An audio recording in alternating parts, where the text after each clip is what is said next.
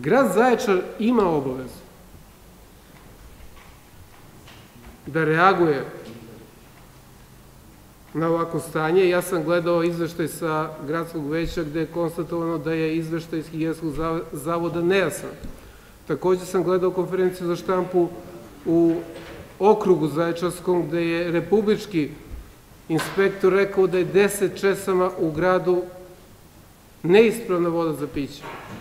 Kod sebe imam dokumentaciju gde svi tvrde da je voda u Zaječaru na velikom broju česama ispitivani uzroci su neispravni za piće. A naša je obaveza da sprečimo i upozorimo građane da voda koju oni koriste je neispravna za piće.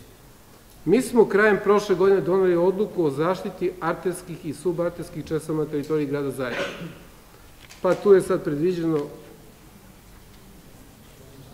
koje su obaveze grada Zaječara i u članu 4 piše da svi građani su dužni da čuvaju i štite javne česme i njihovu okolinu od oštećenja i uništenja radi sprečavanja sekundarnog zagađenja arterskih voda. Građanin Zaječara Nikola Šarčević je to učinio. Jer je on dužan ovom odlukom da to uradi. I zahvaljujući njemu je počela cela priča. Inače, da kažem, nije nebitno da je potpisnik peticije među 3000 ljudi i gradonačelnik Zaječara, i neki odbornici koji ovde sede, i neki većnici, i neki pomoćnici gradonačelnika i tako dalje. Dakle, dakle, za Srbijatis, da. Članom 5 je predviđeno da šta se pod zaštitom, korišćenjem i unapređenjem javnih česama podrazumeva. Šta želim čitanjem ovoga da, da vam o, objasnim? Želim da vam objasnim da grad ima obaveze prema ovom slučaju. Jer sa suprotne strane postoji mišljenje, ne teza, da grad nema obavezu. Član 5 kaže, pod zaštitom, korišćenjem i unapređenjem javnih česama podrazumeva se sprovođenje detaljnih e, hidrogeoloških istraživanja, utvrđivanje rezervi podzemnih voda u cilju dobijanja eksploatacijonog prava i sprečavanja eksploatacije podzemnih voda Zaječarskog neogenog basena koji ima uticaj na arterske vodonosne horizonte iz kojih se snabdevaju javne česme. Dakle, to je obaveza grada. U članu 6 obavljanje u neposrednoj blizini okolini javnih česama zabranjuje se obavljanje bilo kojih aktivnosti koje bi mogle dovesti do oštećenja javnih česama, zagađenja ili neovlašćenja eksploatacije arterskih i subarterskih voda. I nadalje kazneni deo u članu 10 kaznit će se novčanom kaznom od 50 do milion dinara, preduzeće ili drugo pravno lice, ako između ostalog obavlja bilo koju aktivnost koja bi mogla dovesti do oštećenja javnih česama, zagađenja ili neovlašćenja eksploatacije arterskih i subarterskih voda.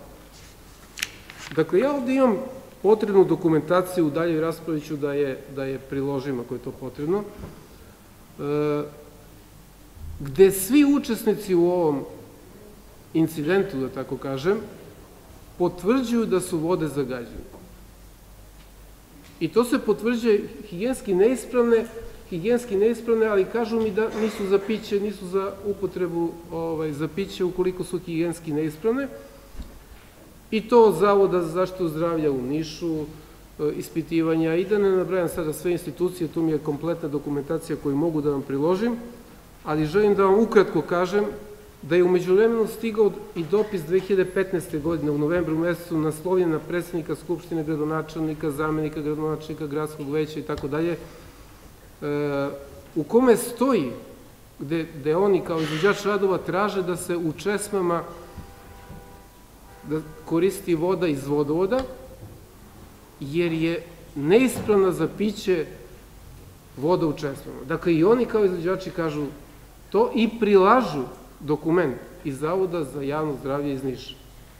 Znači imam ga ovde, mogu da vam pokažem taj dokument. E, isto tako, imamo istraživanja koje je radio Higijenski zavod 2014. godine, gde su sve te česme, na svim tim česmama, dakle pre početka izvođenja radova, na svim tim česmama voda je bila ispravna. Pa onda imate 2015. gde je voda neispravna, gde i sam izvođač u svom dopisu konstatuje i prilaže dokaz da je voda neispravna za piće. Pa nadalje, već sam pomenuo izjavu gospođe, zove se Bistrica, zapamtio sam zbog teme, Bistrica se zove ona, ne znam prezime, izvinjavam je se, ali je ona rekla da je neispravna voda na 10 česama, a mi nismo istakli tablu da tu voda za piće nije ispravna. Nadalje, ministar je naložio da se sanira nastala šteta. Mislim da je neophodno da mi kao Skupština grada, gradsko veće o tome e, razgovaralo, donelo određene zaključke, ali mislim da je neophodno da i mi kao Skupština grada pratimo sve to, a sve u cilju što hitnijeg saniranja posledica koje su, štete koje je već nastale.